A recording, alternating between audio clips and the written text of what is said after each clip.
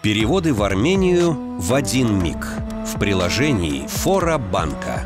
Просто по номеру телефона. До миллиона рублей. Фора Банк. Ваш банк выгодных переводов в Армению.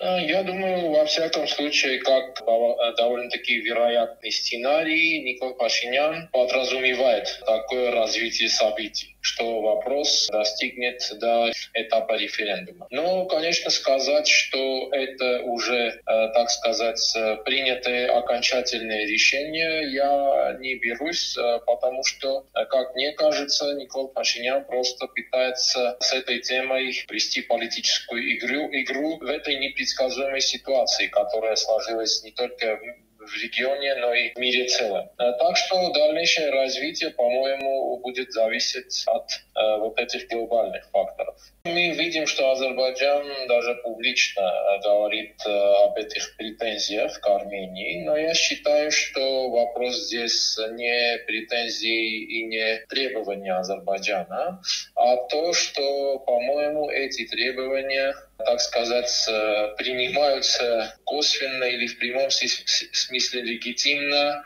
в частности, у западных акторов.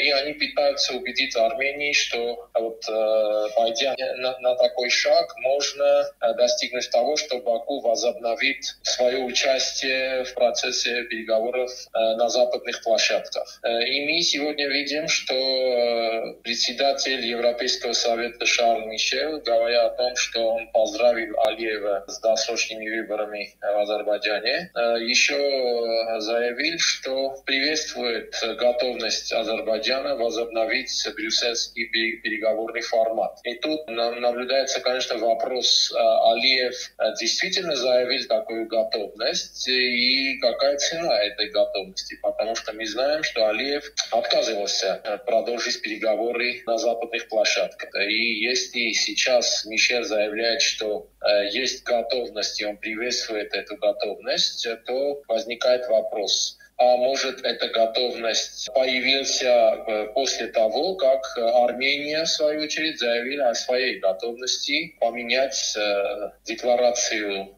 независимости и Конституцию Армении. Вот эти вопросы, конечно, появляются, и я думаю, что эта тематика сейчас э, актуальна вот в этом глобальном смысле, потому что это, это тут не только вопрос требований Азербайджана.